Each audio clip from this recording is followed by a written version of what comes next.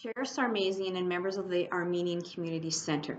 I am pleased to join you today by video during this time of physical distancing due to the pandemic COVID-19 to commemorate and honor the victims of the tragic Armenian genocide that took place 105 years ago.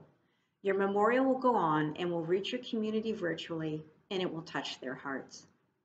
The Armenian Community Center has always done such an outstanding job every April 24th of involving the Armenian community, especially the youth and the broader community, in the annual Genocide Memorial Day ceremony.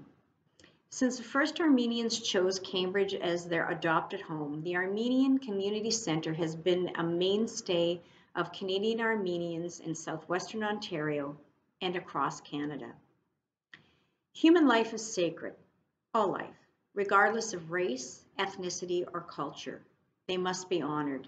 And it is especially noticeable at this time when our global community is struggling to save lives from the impacts of COVID-19 virus. This pandemic has had a profound effect on all of our lives.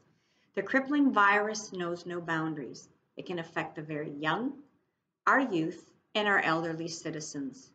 I strongly urge you to do your part to prevent the spread. Stay at home, practice physical distancing, and wash your hands frequently with soap and water. On behalf of the region of Waterloo, the council and staff, Please know that we are doing everything we can to protect you, your family, and your neighbors. But we're counting on you to do your part too. Thank you for being a vital part of our community. Please be well and stay healthy.